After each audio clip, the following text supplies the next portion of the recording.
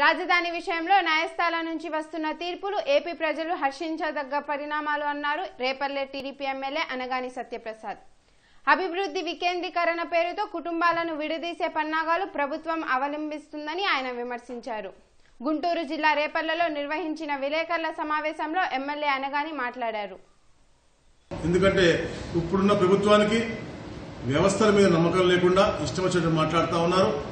తప్పకుండా. ఎందుకంటే రాజధాని అనేది ఒక్కటిగా ఉండాలి అది రాష్ట్రం మొత్తానికి ఉపయోగపడే విధంగా ఉండాలి తప్ప రాజధాని అంటే ఇట్లా ముక్కలు ముక్కలు చేసి మూడు ప్రాంతాల్లో పెట్టేది రాజధాని అనరు.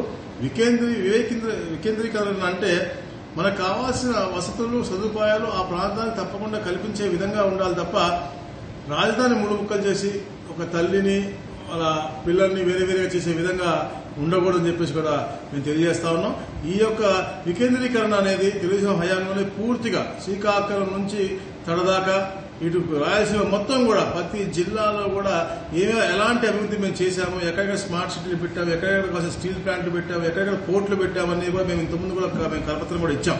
పూర్తిగా వికేంద్రీకరణ అంటే అది. విశాఖపట్నానికి తప్పకుండా అభివృద్ధి చెందాలి. ఇంకా ఐటీ రంగాల్లో కానీ ఒక ఫైనాన్షియల్ డిస్టిక్గా కానీ చెందాలి. కానీ ఇక్కడ ఉన్నటువంటి రాజధానిని తరలించాల్సిన అవసరం లేదు. అన్ని వసతులతో అందరి కళలు కనినటువంటి కళ ప్రజా ప్రజా రాజధాని మనం అమరావతిలో కట్టించి కట్టుకుని కంటాం పూనుకుని ముందుకెళ్ళాము. పదివేల కోట్ల పై చీలకు మనం ఖర్చు కూడా పెట్టాము. ఇదంతా కూడా హైకోర్టు కాదు ప్రజలందరూ కూడా చూస్తా ఉన్నారు కాబట్టి తప్పకుండా మనకి న్యాయపరమైనటువంటి గుంటూరు జిల్లాకి అన్యాయం జరగకుండా గుంటూరు జిల్లా కాదు ఈ రాష్ట్రం అంతా అయితే సెంట్రల్లో ఉంటుంది అటు ఆరు జిల్లాలు ఇటు ఆరు జిల్లాలో ఉండి మధ్యలో ఉన్నటువంటి జిల్లాగా ఉంటుందని చెప్పేసి ఎవరైతే కోరుకున్నారో తప్పకుండా ఈ రాజధాని అమరావతిలోనే కొనసాగించాలి.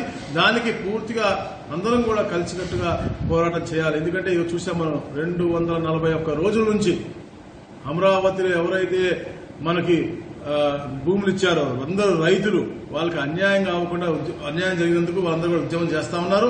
వాళ్ళందరూ న్యాయం జరిగే దిశగా మనందరం కలిసికట్టుగా పనిచేయాలి. అమరావతి అనేది ఈ ఒక ప్రపంచంలో గుర్తింపు తెచ్చే విధంగా ఒక ఈ రాష్ట్రానికి అలాగే భావితరాలకు అందరూ కూడా మంచి జరిగే విధంగా ఒక మంచి కార్యక్రమాన్ని రూపకల్పి కలిపారు. కానీ కేవలం ఒక వర్గానికి చెందింది అని చెప్పేసి ఒక తప్పుడు సమాచారం బయటకు తీసుకొచ్చి ఏదో కొందరు వ్యాపారం చేశారని చెప్పేసి అదొకటి సమాచారం బయట తీసుకొచ్చి కొందరు వ్యాపారం చేస్తే తప్పకుండా వాళ్ళని శిక్షించండి. అంతేకాని మొత్తం అందరి కళల రాజధానికి ఇబ్బంది పడే విధంగా ఈ రాజధాని తరలింపు అనేది మాత్రం ఎట్టి పరిస్థితుల్లో కూడా ఎవరు కూడా హర్షించరు అని చెప్పి కూడా తెలియజేస్తాం